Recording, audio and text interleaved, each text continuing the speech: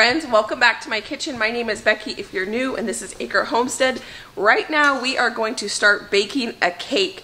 It is Thursday right now and on Saturday my brother-in-law is graduating from law school. So we are having a big barbecue for him and my sister-in-law asked me if I would make a cake and I said of course. So we are going to make a white or yellow cake with chocolate frosting and that party is on Saturday. So today is Thursday so I'm going to bake these cakes up. I'll show you how to wrap cakes and we'll pop them in the freezer and then we're gonna frost it on Saturday. And we're also gonna be making a rhubarb crisp for my sister's barbecue. It's supposed to be really beautiful on Sunday. And so she just said, hey, you wanna come over for a barbecue? And she asked me to make a rhubarb pie because my rhubarb is going crazy out in the garden. Not a rhubarb pie, a rhubarb crisp. So we're gonna do that, but we're not gonna do that till Saturday morning. So right now though, let's get this cake going. I do not have those fancy parchment paper sheets like my mom does. So I do it the old fashioned way. We're gonna trace around a piece of parchment paper and we're gonna cut that out. But we're also gonna leave a tail here and that will help us be able to lift the cake out of the pan.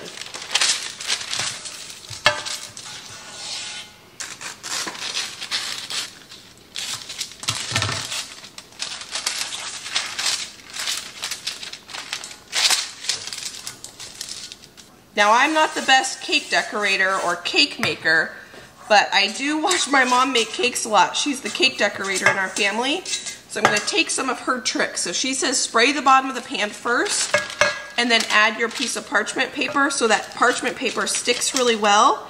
And she says always push down that parchment paper around the outside edge so that when you pour your batter in, you're not gonna have an air bubble and the batter's gonna get up underneath that parchment paper. Then we're gonna spray this. The last thing you want is to go to the effort of making a homemade scratch-made cake and then having it stick to the bottom of the pan. This is not my favorite thing to do.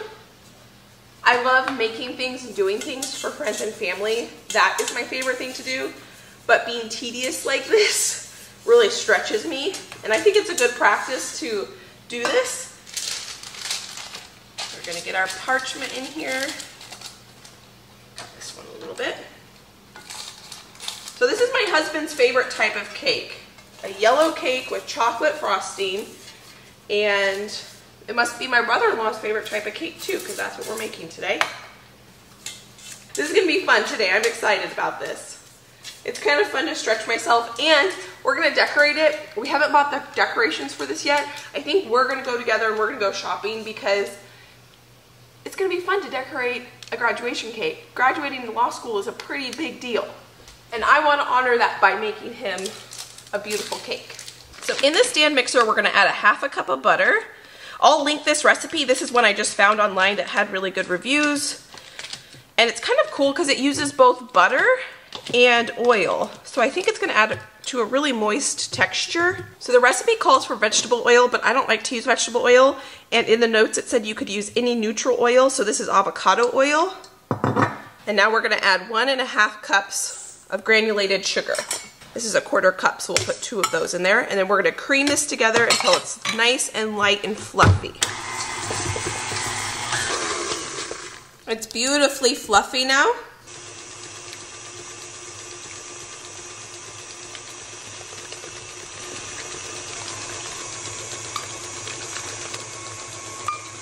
I'm gonna mix in one tablespoon of vanilla.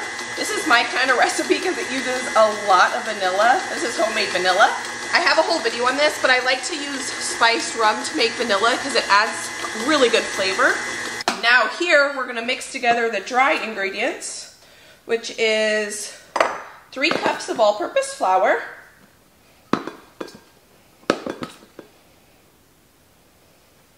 one tablespoon of baking powder. Let me double check that it's not baking soda.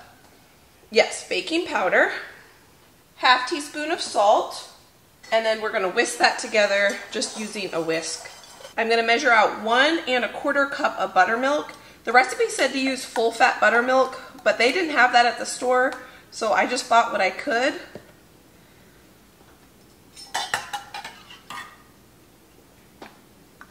And just like that, we have all the components to make a homemade cake. It says to add the dry and wet ingredients alternatively, alternately. So we're gonna start with the flour and then we'll end with the flour. Now, going back to the buttermilk, you can make homemade buttermilk by substituting one tablespoon for every cup of milk with one tablespoon of lemon juice or vinegar because that's what buttermilk is. It's an acidic thing that's going to help with the rise of your cake. And because I couldn't find full fat buttermilk, I didn't know if it would be better to make homemade buttermilk with whole milk or to use real buttermilk that's reduced fat. Do you guys have any thoughts on that? Because I don't know. Oh my gosh, this smells so good. This smells so good. So we're gonna add a little bit more of the flour. This really is super easy to make homemade cake, especially if you were to put this in a Bundt pan or in a sheet pan and not worry about the layers. Because this is a special event, I figured I'm gonna go ahead, go the little extra step and do the layers. But if this was a family dinner or something and it wasn't a celebration and they asked me to make a homemade cake, I'd probably do a sheet cake because it would be just a little bit easier with the frosting. It does say scrape down the sides at least once, so we're gonna do that before we add the rest of our flour. And that was it. You can see how thick this batter is. It kind of holds up on itself. I have the oven preheated to 350 degrees. I'm going to evenly distribute this cake between our two pans, our cake batter.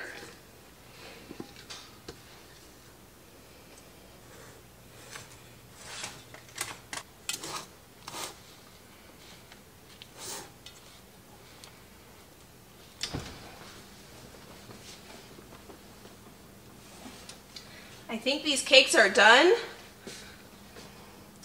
It's slightly golden brown. It's pulling away from the sides of the pan and there's no give to it when I feel it. So we're gonna take both these cakes out.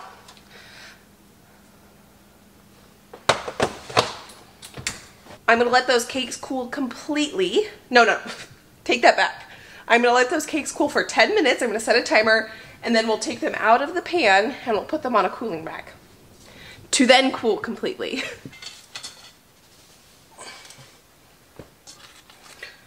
Perfect! And that is why we did that. Beautiful.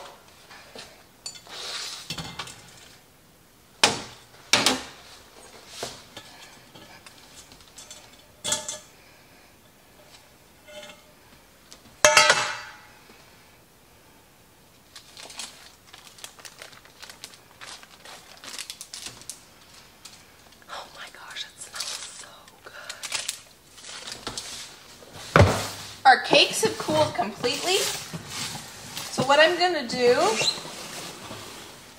is wrap them up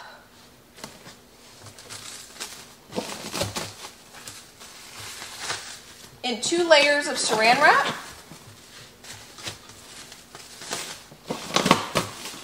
And these are gonna go in the, I almost said oven, these are gonna go in the freezer until we're ready for them. And you can frost I need to double check with my mom, but I'm pretty sure you can frost cakes when they're frozen. If you can't, depending on what my mom says when I talk to her, I will either get them out Friday night and put them in the refrigerator to thaw, or I will get them out Saturday morning when we make the frosting and frost them. Saturday morning, we're also gonna go ahead and make the rhubarb crisp. And I really want to make a cheese souffle for dessert, for breakfast for Josh and I. So if I feel ambitious on Saturday morning, before we have the graduation we're going to go to, then we're going to try making and putting together these three recipes. Good morning, friends. It is Saturday morning early, and we have a couple things on the schedule today that we need to get done. The first thing I wanted to do, because it was so beautiful outside, is I wanted to get out and I wanted to harvest the rhubarb. Rhubarb is, I think, in the celery family. I'm going to have to look that up. Let me look that up right now. Well, I'm glad I looked that up because I would have been spreading false information. The rhubarb is actually in the buckwheat family and celery is in the parsnip family. So even though they kind of look alike, they are not related at all. And the flavor of rhubarb is a really unique flavor. It's kind of, it's really tart, and so it goes really well in desserts because you get this tart, sweet flavor. And it grows, it's a perennial, so it grows every year. I don't have to plant it. And if you've never tried it, I'd highly recommend it. You could certainly probably find it in your grocery store or a farmer's market in your area. These leaves of the rhubarb plant are huge, so what I like to do is use them as mulch and just to help prevent weed pressure and give back to the soil. So now that we have all of our rhubarb, we're gonna go ahead and bring that inside and we are gonna decorate our cake and prep to make a rhubarb crisp. It's gonna be a beautiful day out there. It's Saturday and it's supposed to be in the 70s. That is the warmest day of the year so far. Now that we're back inside, we need to get going on the frosting. This is the frosting that came with the cake recipe which I am gonna link down in the description box if you want this recipe. I am gonna one and a half this recipe. My mom always says she doubles her frosting whenever she makes a layered cake. So I don't think I need to double it, but I'm gonna one and a half it. Hopefully I don't regret that. So I have 8, 9, 10, 11, 12 ounces of chocolate in here. These are semi-sweet chocolate chips and I'm gonna melt them. And then over here, we have the rest of the ingredients. I'm gonna start creaming together or creaming in this bowl while the chocolate melts. One and a half cups of butter. Just so that it can get soft. I did have this butter left out overnight.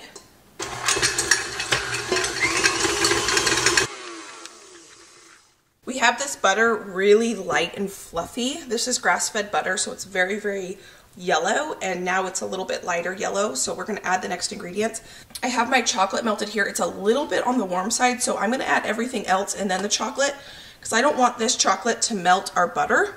I did decide to go ahead and double it because I figured you know what I would rather have too much frosting than not enough.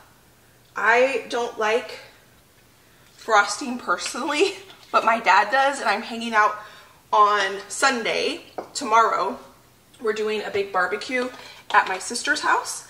And so if I have leftover frosting, I will go ahead and bring it over there. So I just added a tablespoon of vanilla, which because I'm doubling it, I need to add a little bit more, and a splash or two of cream.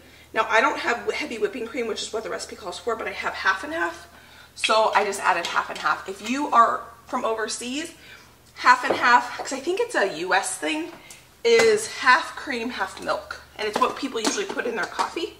And so now we need to add four cups of powdered sugar. Okay, four cups. And we're gonna blend that together.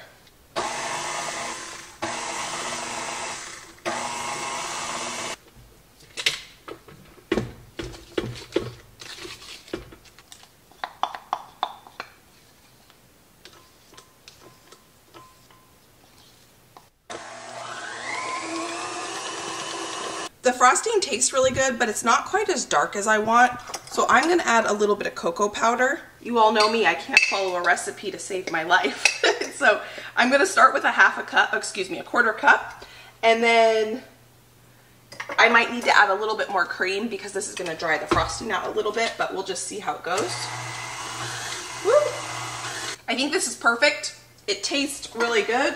Very, very chocolatey not too sweet. I did not add any more cream because this seems pretty spreadable to me and I don't want it to be too runny. So let's go frost our cake. So I talked to my mom about frozen cakes and whether you can frost cakes if they're frozen.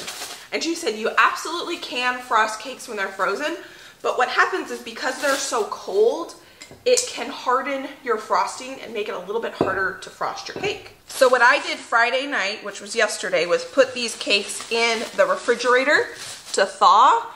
And then this morning I put them on the counter while I showered so that they would come up to room temperature. So I'm gonna put a little bit of frosting on the base of our cake pan as glue to keep this cake from sliding all over the place. I think what I'm gonna do is put it seam or top side down. Oh, I want to use this one as the bottom, actually, because when I put this cake in the freezer, it was sitting up against my blueberries, and so there's a little bit of a divot there, so we're going to hide that with frosting.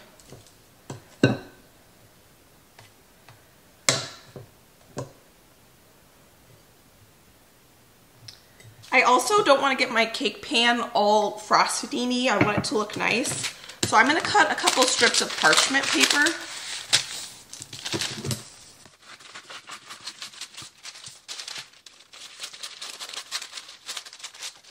And we're going to tuck this parchment paper up underneath our cake so that after we're done frosting it, we can just take the parchment paper out and our cake pan will be nice and clean.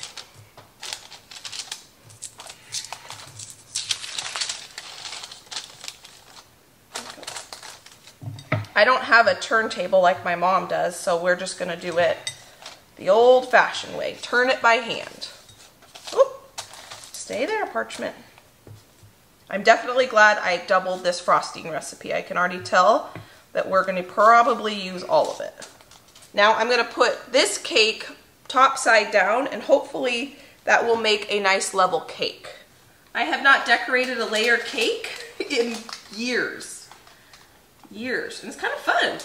This offset spatula makes a big difference. I just got this at Goodwill not that long ago. And let me tell you, you need an offset spatula. Okay, definitely, definitely double your frosting because I have used all but that much frosting. There's not very much left in there. Now I have to figure out how I want to finish this cake. And what I was thinking was doing like it kind of messy looking. So one way to do that, you know, I think I'm gonna put a little bit more frosting on the outside. I don't think I have enough, let's see, maybe I have enough to, no, I don't think I have enough to pipe. I'm arguing in my head on how I should do this because I don't know what I'm doing. So what I'm gonna do is try to get an even layer of this frosting around the side. It's very airy, so it's kind of hard to, maybe I whipped it too much, I don't know. I'm gonna take a spoon, just the back of a spoon, and I'm going to kind of put little swirls. So it's gonna be kind of like intentionally messy because there's no way this, this frosting is very fluffy. If I tried to smooth this out really nice, I'm not gonna have that happen. I think I'm having too much fun doing this. I might become a cake decorator. I don't know. I made two of my friends' wedding cakes. Just the cake they, or the dessert they cut. And I kind of did it this style, and then we put a ton of really beautiful flowers on the top. One of them was a white pound cake. The other one was a carrot cake. That was years ago though. I think 2011. That's cute, I like it. Now what we're gonna do is pull out this parchment paper. You can see how it's leaving this really nice and clean edge. And my cake is not completely centered. You can see there's a lot more space over here than over here. So I'm gonna attempt, let's see if we can do this.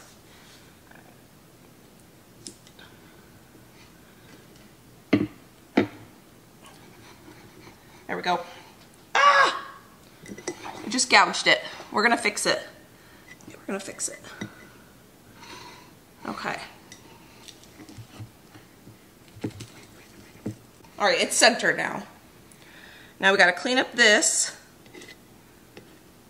This was exactly what I didn't want, but I think we can clean it up. Oh yeah, that's cleaning up, no problem. All right, beautiful. I love it. It's absolutely adorable. Now, I did not have a chance yesterday to go buy any cake topper or anything. So we don't have to leave the house for an hour and I'm already showered and have my makeup on. All I have to do is change. What I'll probably do is go change, run to the store and see if we can find something cute to decorate it. Because I think it's cute. I think what we'll do, I don't have time to make the rhubarb crisp today, which is fine because the rhubarb crisp is for tomorrow. And we don't have to leave and be to that party until one o'clock. So, so I ran to the store and I was very unpleased, displeased with the decorations. But I found these cute little festive, I don't know what these are called, but I thought they would be really pretty on the top. So we're gonna decorate the top of this cake with these. My biggest question is how am I gonna get, the, oh, that works them to stick. But if I just take and I push it in a little bit, it works perfectly. It's so cute. Perfect. Good morning, friends. It is Sunday morning, and we got to get ready for this barbecue at my sister's house. Last night we had the graduation. It was so nice. It was outside, and it couldn't have been a better day. We had a beautiful barbecue, and the cake was delicious. I'm going to link that recipe down below. It's not my recipe, but let me tell you, that is the best yellow cake I have ever made. It was fantastic. But we need to now make this rhubarb crisp. I washed all the rhubarb yesterday. We've got a ton of dirty dishes. The kitchen is a mess. My KitchenAid is a disaster. My stove is messy. And, and if you watched earlier this uh, week, we made, three days ago, some pasta. This is homemade pasta. I have three tables of it. I put this tablecloth up here like this just so that my dogs couldn't get to it. I've had two fans on it for two days. It's completely dry. So we need to get this put away so that we can enjoy this pasta all year long. If you wanna watch me make this, I have a video on it. I also have the recipe I can link down below, but this is homemade pasta with homemade eggs and you just dry it and you have pasta for whenever you want it. So I wanna get this taken care of. I also wanna make Josh, because it's Sunday, a baked oatmeal so that he can have some breakfast for the week. We're gonna make a blueberry applesauce baked oatmeal and he's gonna really enjoy it, I think. So let's go ahead and get the ovens preheated. I'm gonna preheat both of them. I have one oven, but it has two separate ovens in it because I'm gonna bake them separately. I wanna get this kitchen cleaned up so that we can go relax, enjoy the beautiful weather. It's supposed to be in the 70s today. And then we can come home to a clean house. I won't have to worry about dinner and we can just relax and have a very nice relaxing Sunday evening in a clean house. So like I mentioned, we got this rhubarb washed up and cleaned up last night. This is way more rhubarb than we need for today's recipe. Every time I go out and harvest rhubarb for a recipe, I've been harvesting more than I need for the recipe so I can get it put up in the freezer. Instead of going out there and just harvesting a ton and having to deal with it all at one time, I've kind of been taking the let's slowly do this approach. And if you guys have any rhubarb recipes, I greatly appreciate that down in the description box. I have a fantastic rhubarb barbecue sauce recipe. I can link that video down there as well. But I have so much of it in my pantry, I don't need to make any of it this year. And I have enough rhubarb jam in my pantry as well. So other than just freezing rhubarb for desserts, can you guys give me any suggestions of other ways to preserve rhubarb? I'd greatly appreciate it. One suggestion was an upside down rhubarb cake. And I have to tell you that sounds so good. So we are gonna make that together at some point, but I need to do something really easy and my sister requested a rhubarb crisp today, so that's perfect because I can whip that up really quickly. I wanna get the things in the oven so that we can clean the kitchen while everything is baking. Trying to be as efficient today as possible.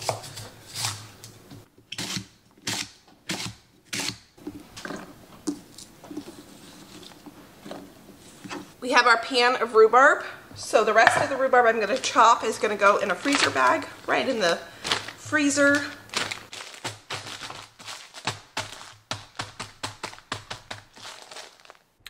Now it's time to finish the filling for the rhubarb crisp. I'm putting about a quarter cup to maybe a third of a cup of flour and a cup of sugar. This is a lot of rhubarb and rhubarb is pretty tart so it needs that to kind of balance the flavor. I'm going to toss this together. I'm doing this right in the dish we're going to bake it in so that it's one less dish to clean. And now we are going to make the crisp topping. And to make crisp toppings, it's super easy. It's always equal parts oats, flour, butter, and sugar. And I'm going to use brown sugar in this. And I started out using a quarter, excuse me, I started out using a third of a cup of everything, and that wasn't quite enough. And so I did end up by the end adding a quarter cup more of everything. So I did one cup flour, one cup oats, one cup butter, and one cup brown sugar. I also added a little bit of salt to help balance the sweetness of this.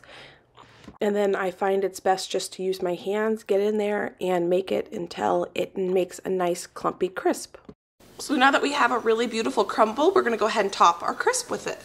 Crisps are one of the easiest desserts to throw together because you can make them with apples, with berries, and the ratio of the topping is always exactly the same.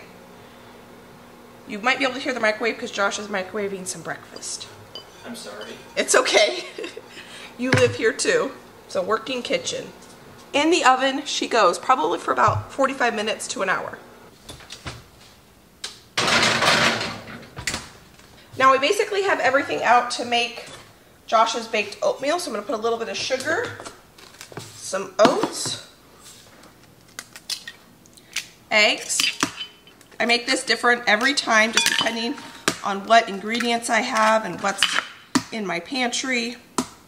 Right now I'm going to try to use up the blueberries because blueberry season is going to be here soon. I like to make this right in the dish we're going to bake it in because then that's one less dish I have to clean. That's some applesauce, milk. You can use almond milk, dairy milk, whatever kind of milk you want. Mix it together. My butter is a little bit frozen, which is fine, and I don't feel like microwaving it. So I'm just gonna cut it into cubes. I do have a recipe for this, but I generally just kind of go by eyeball. I make it so much that I don't really follow a recipe. So I'm just gonna dice this up and then we'll mix it into the baked oatmeal kind of diced up like this.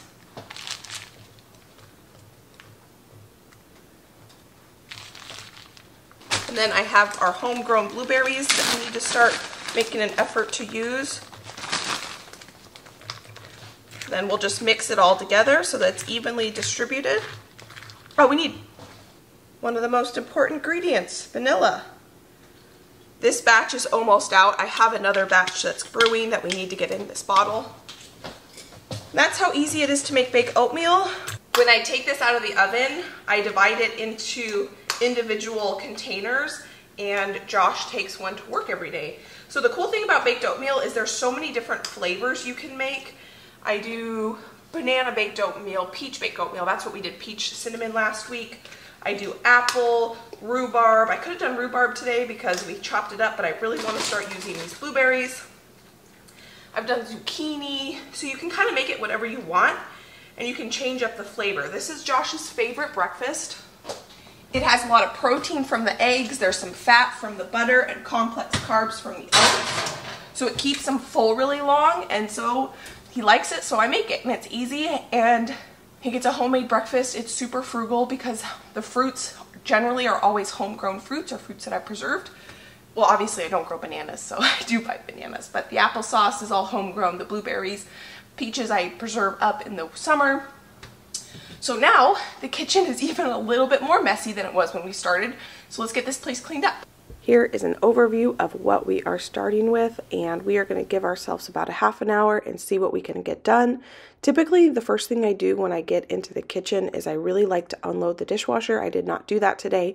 So the first thing I'm going to do before we start cleaning anything is get it unloaded because we did use some dishes and I want to be able to get those dirty dishes into the dishwasher.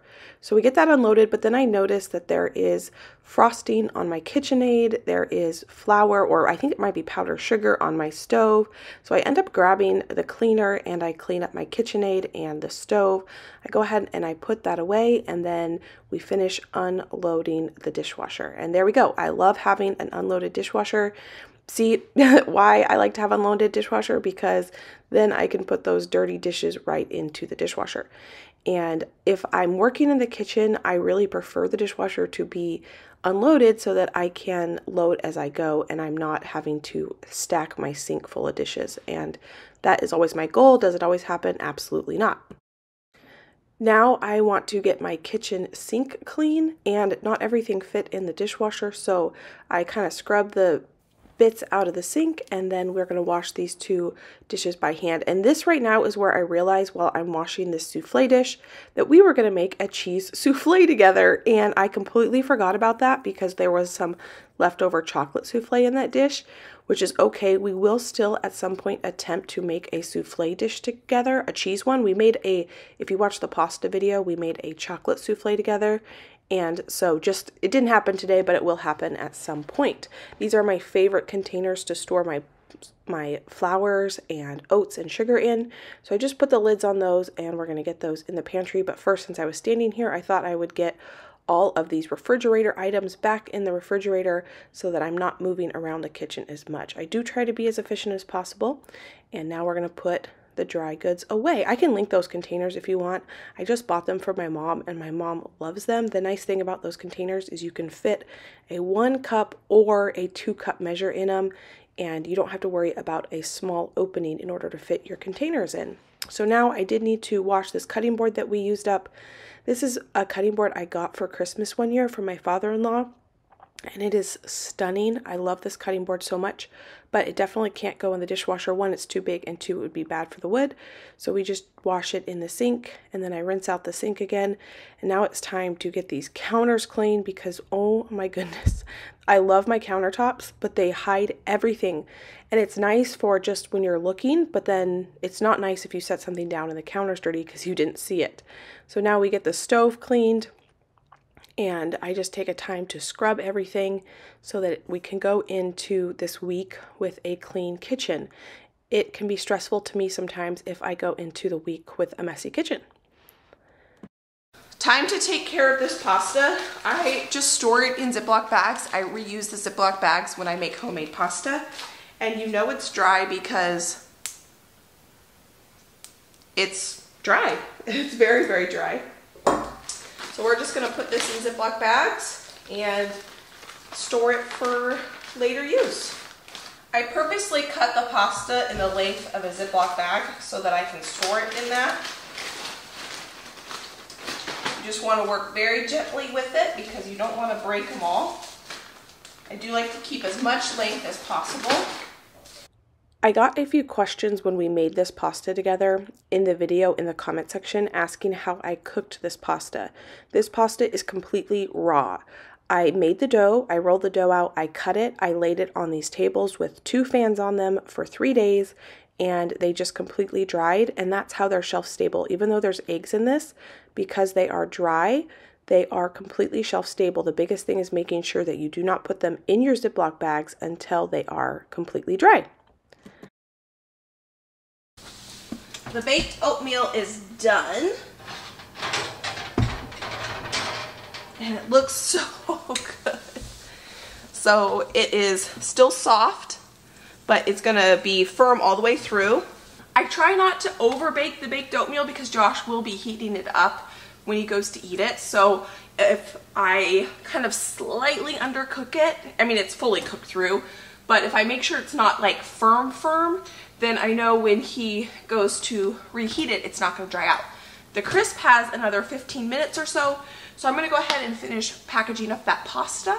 We got 10 bags of the long pasta, which we'll make into pasta dishes, and then I got one bag of kind of the ends for the broken pieces or the small pieces, and I'm gonna use this in chicken noodle soup probably. I mean, I can use this in chicken noodle soup, but I didn't want to throw these away and waste them, but I want to leave these whole in case we want to make a pasta dish out of it.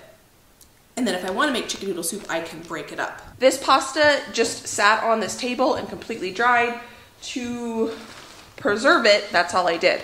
I put it in a Ziploc bag, I put it in my pantry, and I've had pasta last up to a year in my pantry, no problem, as long as, this is really, really important, that pasta is completely dry.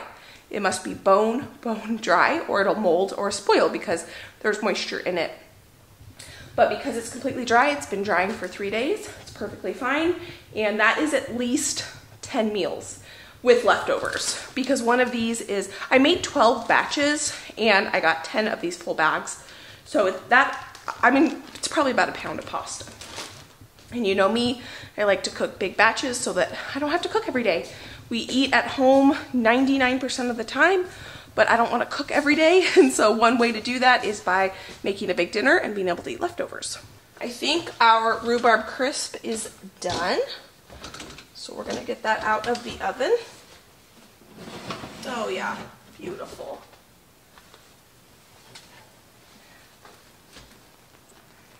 You know it's done because it's bubbling. The rhubarb is gonna be soft. Our crisp topping is golden brown. And we're gonna let this cool completely before we dig into that. I wanted to get our crisp done early in the morning, even though our barbecue doesn't even start until 3, because you don't want to serve this until it's cooled because it will just ooze out everywhere. My mom and dad are to bring some vanilla ice cream because we, Josh and I, have to actually leave here in about a half an hour to go do something pretty fun and exciting, which eventually you guys will know what that is.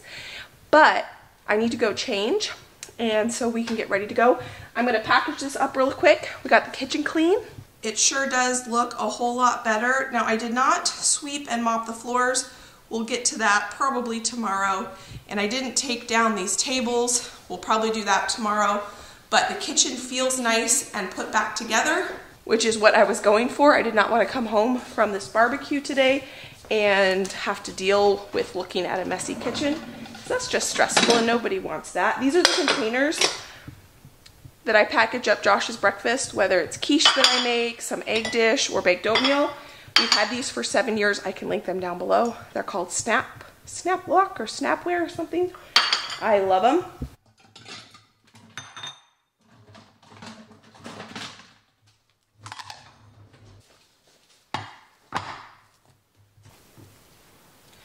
You want to see the texture of how that comes out. Even with that many eggs, it's still really soft as long as you don't over bake it.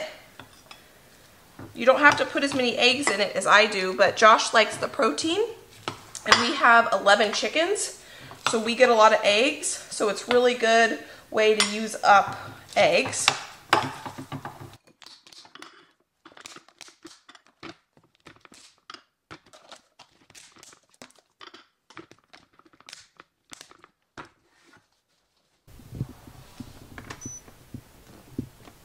Feels really awesome to have the kitchen clean, have our dessert made, have breakfast. I packaged up a couple lunches for Josh. We made some jambalaya two days ago and I have that packaged up for him so he can take that to lunch tomorrow.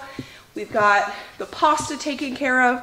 Now I'm gonna go get ready. I'm gonna go enjoy the afternoon. I'm gonna come home to a clean kitchen and we're gonna start the week off with just being able to relax and not have to think about a messy kitchen. So thanks for hanging out with me, guys. I will link the recipes down in the description box if you're interested. I will leave the recipes down in the description box if you're interested in them. If you enjoyed this, please give it a thumbs up. If you're new, consider subscribing. Or you can go watch some of my other videos. I'll post those right here so you can go enjoy those between now and my next upload. And thanks for hanging out with me. I can't wait to see you next time. Bye, guys.